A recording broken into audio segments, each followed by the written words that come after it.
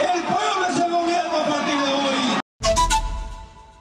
Y después de recibir de Jurado Nacional de Elecciones estas credenciales como presidente de la República, Pedro Castillo llegó a la Plaza San Martín, donde era esperado, como sabemos, por cientos de simpatizantes. Acompañado de su vicepresidenta Dina Boluarte, Castillo Terrones expresó su voluntad de unir esfuerzos dejando atrás las diferencias políticas. Que también no piensan como nosotros. Abrimos las puertas a las otras fuerzas políticas que nos veían como alguna o como algún fantasma, que nos veían ninguneándonos.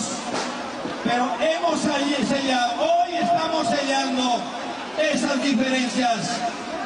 Hoy es el momento de unir los esfuerzos y hago la convocatoria, hago el llamado al pueblo peruano. 5 de la mañana con 12 minutos, Pedro Castillo invocó además a Perú Libre a no cerrarle las puertas a nadie y no hacer una lista a su antojo. No solamente vengo a pedirles que sean vigilantes del gobierno,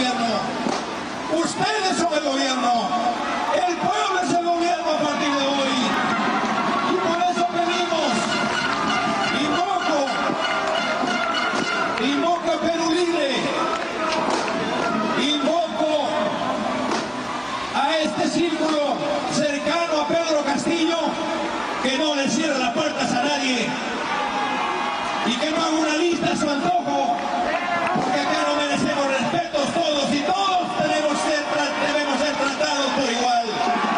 Todos tenemos el mismo trato. El presidente electo además pidió a sus simpatizantes estar atentos al gobierno y reportar si tienen alguna queja sobre las acciones que realice Perú Libre. Háganos llegar alguna queja del gobierno nuestro, este partido de Perú Libre.